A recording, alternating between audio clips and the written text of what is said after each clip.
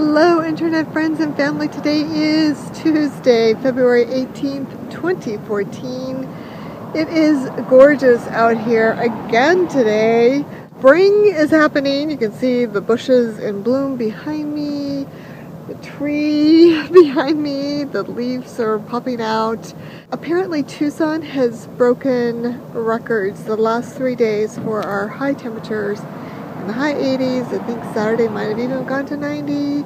Winter didn't come this year in Tucson.